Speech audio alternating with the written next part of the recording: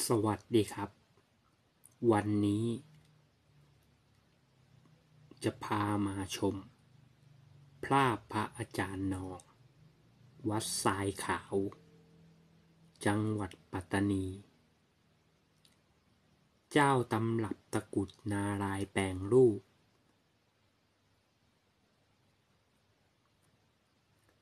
พระอาจารย์นอง วัดทรายขาว ท่านเป็นสหธรรมิกกับหลวงปู่ทิม วัดช้างให้ ท่านเคยร่วมสร้างพระหลวงปู่ทวด เนื้อว่านเมื่อปี 2497 จนโด่งดังทั่วสารทิศมาแล้ว ต่อมา พระอาจารย์นองวัดทรายขาว ได้สร้างเครื่องรางของขลัง โด่งดังไปทั่วเมืองไทย คือตะกุดนารายแปลงรูป และพระหลวงปู่ทวด เนื้อว่านฝังตะกุด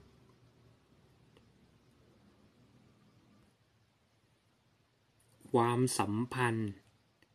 อาจารย์นองกับหลวงปู่ทิมวัดช้างให้ ท่านเป็นเพื่อน หรือสหายธรรม เป็นทั้งกาลยานมิตร และเป็นสิทธิอาจารย์เดียวกัน เกื้อกูลกันมาตลอด จนมาวาระสุดท้ายของพระอาจารย์ทิม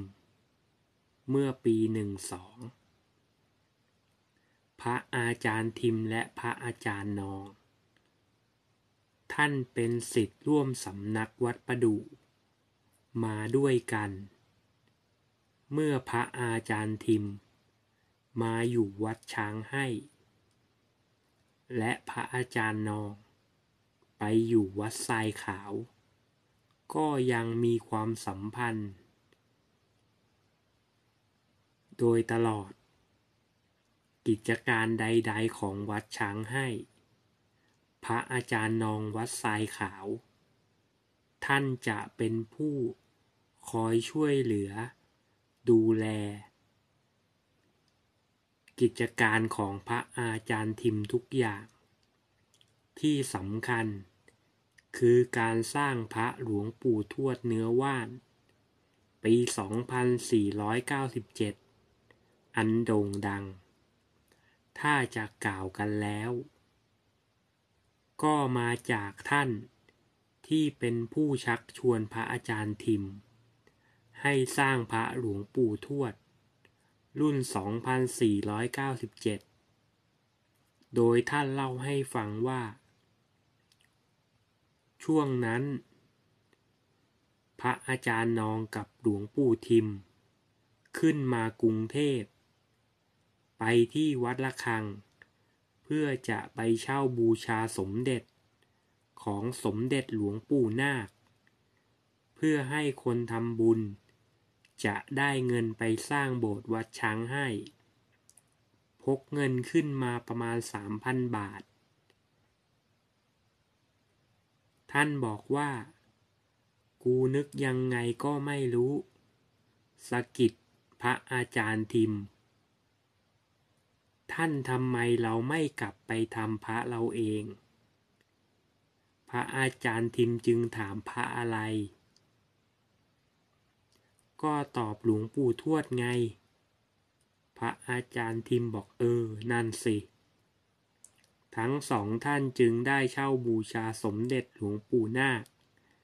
มาเพียงเล็กน้อย และพากันกลับมาปัตตานี คือต้นกำเนิด สุดยอดพระเครื่องเมืองใต้ หลวงปู่ทวดปี 2497 เป็นอมตะตลอดกาลส่วนประกอบที่เหลือ คือการจัดสร้างให้บรรลุ การจัดสร้างหลวงปู่ทวดเนื้อว่านปี 2497 พระอาจารย์นอง ท่านมีส่วนอย่างมากในทุกขั้นตอนการจัดสร้าง ท่านจะรู้พิธีกรรม เรื่องการหาว่าน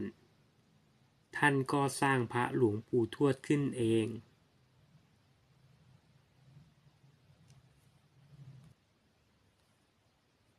ท่านถือเป็นอีกหนึ่งเกจิ ที่มีส่วนในการร่วมสร้าง พระหลวงปู่ทวด ปี 2497 อันโด่งดัง ท่านมีชีวิตเรียบง่าย ไม่ยึดถือยศถาบรรดาศักดิ์ พัฒนาวัดไซขาวจนเจริญรุ่งเรือง